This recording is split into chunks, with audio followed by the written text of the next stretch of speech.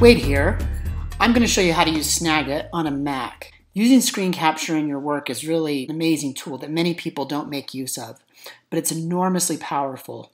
If you're trying to communicate something to a client or a colleague that is slightly complicated, where you wish you could just have them in front of your computer screen and showing them what you want to communicate, screen capture is the key.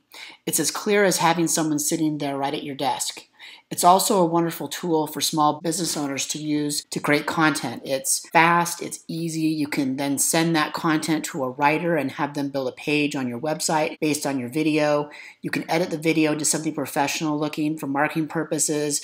The uses are really endless, and Snagit is really one of the best tools for getting started. We recommend Snagit whenever someone's trying to get started with screen capture.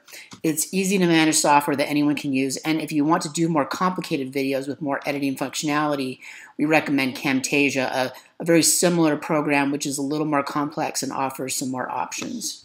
But for most people, Snagit is plenty. So on your Mac, the way you do this is that you make sure that the application is on. And if it's on, what'll happen is you'll see this little this little pop out box that lets you activate the program and you'll see you can move this box anywhere you want you can you can put it over here you can move it down here so wherever is most convenient for you so if you want to make a video you simply click on the red circle there and what it does is it allows you to choose the size of the frame that you want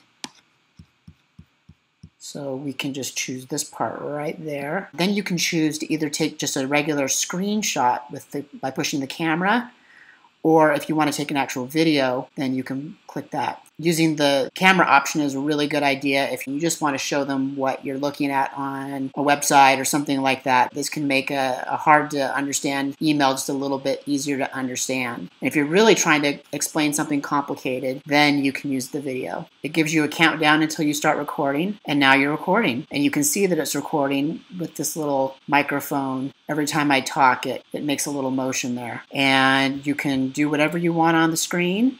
You can click to a different page. You can go to really any part that you want to show them. Just use your screen just like you would normally. If you need to sneeze or pause, you can just push the pause button and it will stop for a few seconds. And then when you're ready, just go back and push record and you're back to recording. When you're all done, then you want to push stop and this will pull up your finished video there. Now, if you want to cut part of your video out, it's got this cool tool here that lets you scan to the part that you want. You can turn it on here and hear what it sounds like. Click to a different page. So let's say you want to take that little section out. What you do is you just put it right where you want the, the cut to start, and then you just move this to where you want to end, and then you can just push cut, and it'll cut that little section out of the video. This is good for doing real simple editing. If you want to do a lot of editing, then you may want to use Camtasia. That gives you a little bit more functionality. But this is good just for simple editing.